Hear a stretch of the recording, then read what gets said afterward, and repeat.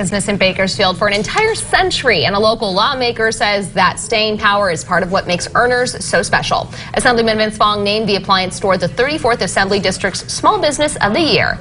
He called Urner's a generational staple and thanked the family for its dedication to supporting local nonprofits. In honor of its 100th anniversary, recently the store presented a $25,000 check to the Boy Scouts of America Southern Sierra Council.